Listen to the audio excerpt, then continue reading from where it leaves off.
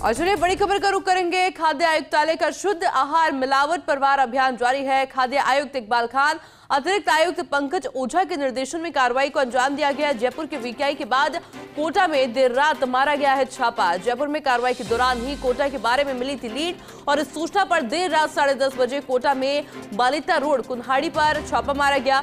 और यहाँ Sandeep trading company के गोदाम में श्री सरस की चार हज़ार लीटर की खेप बरामद हुई है। टीम ने श्री सरस ब्रांड के नकली घी के सैंपल लेकर सीज की कार्रवाई की है।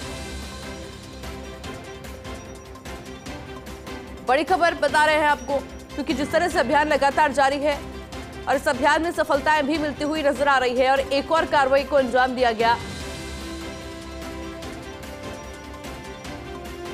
और इसी खबर पर अधिक जानकारी के लिए मेरे साथ एसोसिएट एडिटर विकास शर्मा भी फ़ोन लाइन में जुड़ चुके हैं। विकास, लगातार छापेमार की कार्रवाई को अंजाम दिया जा रहा है, अभियान को ज़ोर दिया जा रहा है और बड़ी बात यह है कि इसमें सफलता भी मिल रही है। करंट कार्रवाई को लेकर अपडेट दीजिएगा।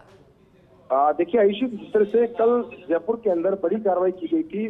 मिलावटी घी को लेकर के साढ़े तेरह हज़ार लीटर के आसपास घी जो है वो जब्त किया गया था और उसके बाद में अब देर रात को उसी कार्रवाई के अंदर एक लीड मिली थी। उस लीड के आधार पर आज कोटा के अंदर देर रात को छापामार कार्रवाई की गई है और ये जो छापामार कार्रवाई की गई है, इसके अंदर तकरीबन चार हज़ार लीटर नकली घी जो है वो बरामद किया गया है। ये जो घी था, ये भी दमन से बनकर के जयपुर के वाया, जयपुर होते हुए कोटा पहुँचा था और कोटा के अंदर इसकी डिलीवरी होनी थी। और जब टीम को इसकी जानकारी मिली और कल जब यहाँ पे कार्रवाई की गई थी तो कार्रवाई जयपुर में जब की गई थी, उसके ठीक बाद में जो लीड मिली, उस लीड के आधार पर कोटा के अंदर देर रात को प्रशासन की मदद से कार्रवाई की गई है और यहाँ पर चार हज़ार लीटर घी को सीज करते हुए की जो कार्रवाई है, वो शुरू कर दी गई है। जी। बिल्कुल, विकास बहुत बहुत शुक्रिया आपका तमाम जानकारी के लिए।